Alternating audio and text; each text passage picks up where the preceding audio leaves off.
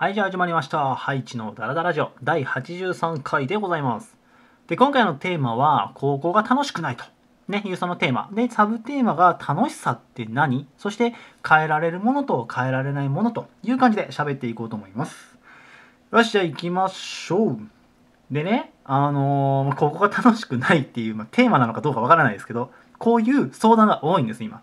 そう、すごく多い。この1、2週間かな。で、これね、中学が楽しくないっていうのはね、あんま来ないんですよ。で、高校が楽しくないのはすごく。毎年ね。で、なんで、まあ、そこの違いがあるかっていうと、中学っていうのは大体の子が小学校からの持ち上がりで、まあ、友達が多かったりね、もともと小学校の時仲良かった子がその一緒に上がっていくからさ、あの、他の私立とか受けない限りはね。なので、まあ大体そういう環境が大きく変わらないんだけど、高校に入ると全然ガラッと変わるでしょ。普通に入学して最初のクラス一人も知らないとかザラに起こるもんね。俺も高1の時のクラス同じ中学校の人一人もいなかったから全員知らなかったんだよ。そう。でまあそういった環境が変わってでちょうど今日19にアップしてるから、まあ、新生活というか高校生活始まって2週間がま経ったぐらいなのかな。まあ大体だと、まあ、この辺で来るよね。そう。蓋を開けてみたら全然楽しくないと。友達できないしって。いう感じのが起こったりするわけですよ。で、まあそういった子たちから今回ね、相談をたくさんいただいたので、まあまとめて一人一人にちょっと返す時間がなかったから、この場を借りてね、返信というか返答できたらと思っております。で、まあ中にはね、これが、なんだろう、去年の時に、ここ楽しいんだぜってすごい言いまくったから、ハイチさん言ってたけど全然楽しくないんですけど、何なんですか？みたいなちょっとね、切れ気味の子とかもいたんですけど、そう、相談もらった子の中にはね。まあ、正直言っちゃうと、あの、もちろん、俺は楽しかったですし、高校が一番楽しいっていう生徒が比率的には圧倒的に高い。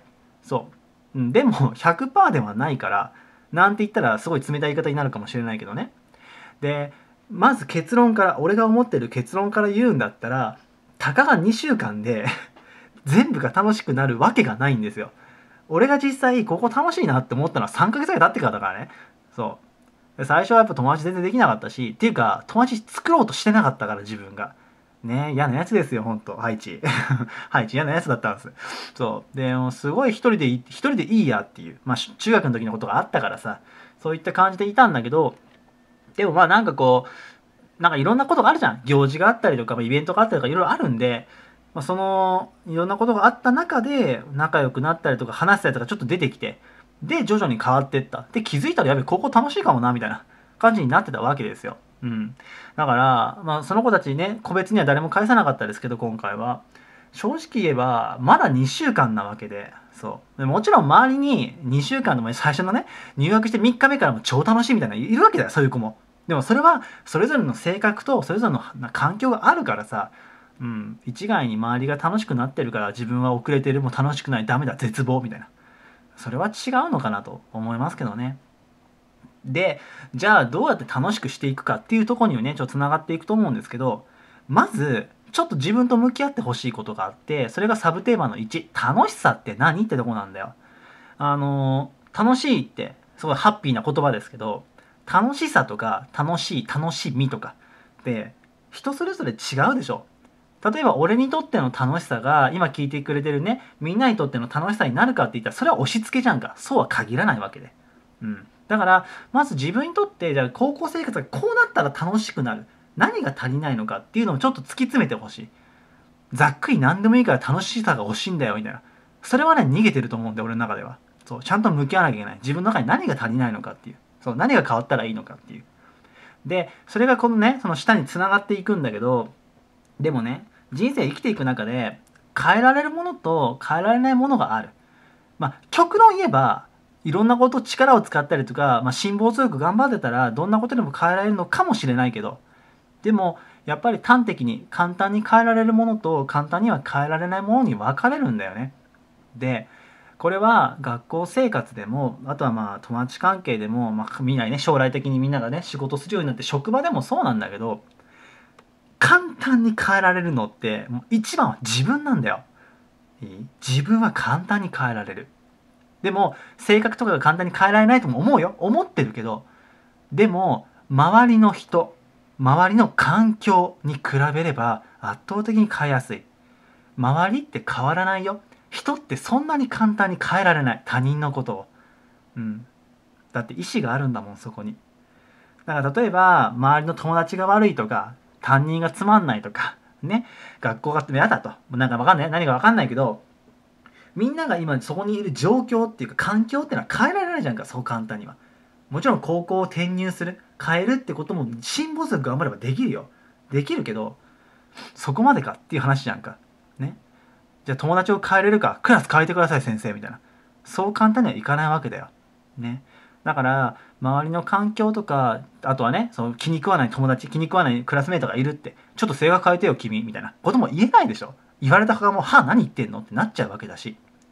だから周りっていうのはそう簡単に変えられない。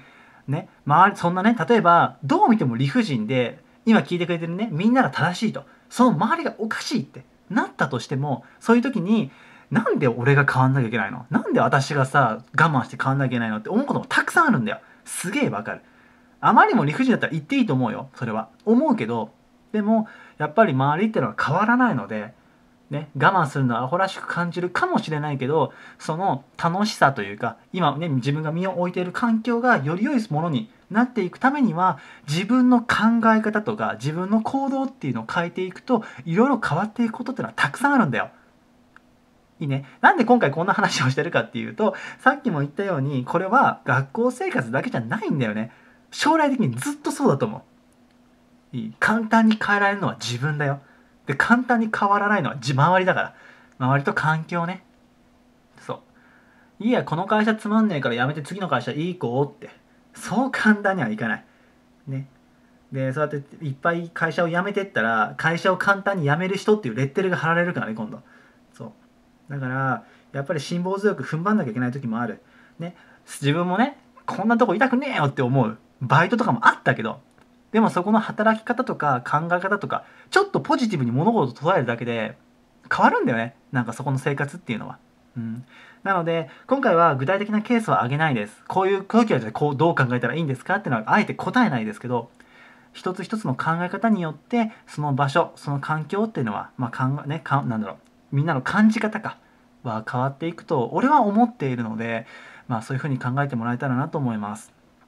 であのあとね愚痴りたい時っていっぱいあるじゃん。で、俺も愚痴る時ありますけど、でも俺、多分、愚痴はね、そんなに多い方ではないと思うの。でも、昔めちゃくちゃぐちぐちしてて、もう超愚痴言ってた。あの、周りのせいに ばっかりしてたからね。自分は正しい。自分間違ってね、周りが悪いみたいな。ほんと、どんだけ生意気だったんだって話なんですけど。でも、やっぱそういう考え方を持ってる自分がいて、で、それを振り返った時に、やっぱりそれじゃいけないんだよね。愚痴っていうのは基本的に何も生まない。と思ってる俺はね。もちろんちょっとすっきりした気持ちみたいなのもあるけどあるけどでも友達同士とか仲いい者同士で愚痴っても結局あんまりいいものは残らないんだよね。うん。だからこう不満とか愚痴りたい時もあんまり我慢しちゃダメだよ。あんまり我慢しすぎて爆発してもあれなんで小出しにする必要はあるけどでもちょっとグッとこらえて言葉に出す口に出す言葉はポジティブなものとかに変えていった方がいいこれは前もね、ダラダラジオで話しましたけど、口に出す。ね、ことの葉ってありますけど、口に出すもの、そして耳に入れるものっていうのはすごく大事なので、心で思った、マジうざい、キモい、ムカつく、嫌だ、もうやめたいみたいな、思ったとしても、それはグッとこらえる。心の中で思うのはいいんだよ。それを思ってる自分がダメと思わなくていいから。それは違う。いい。人の心だから汚いこと、えっと、汚いこととか嫌なことを思うのは普通だから。それは思っていい。でも、そこを口に出すか出さないかはそこは自分の意思で変えれるところなので。なので、まあ、そういったことを意識してやっていったらまだ変わると思うんだよ。本当まだ2週間だからね。そう。だってまだ4月19だし。そう。なのであのこれからねこの先みんなの高校生活が超ハッピーになる楽しくなるって保証はないです。完全に無責任なこと言ってるんだけど。でもそういった考え方次第でいろいろ変わっていくと思いますので是非ね、まあ、そんな風に考えてもらえたらと思っておりますまだね、いっぱいいろいろ話したいこともあるんですけど まあ、ちょっと長くなってもあれなので、今回はこの辺で終わりたいと思います。では、今回は、ハイチのダラダラジオ第83回、高校が楽しくないというテーマで喋らせていただきました。えー、今回もね、ここまで聞いていただいて本当にありがとうございました。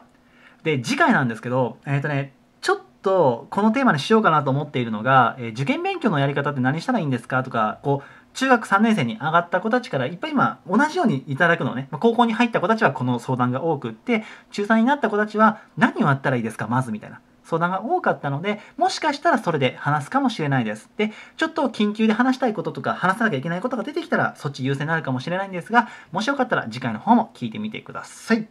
では今回はこれで終わります。以上です。ありがとうございました。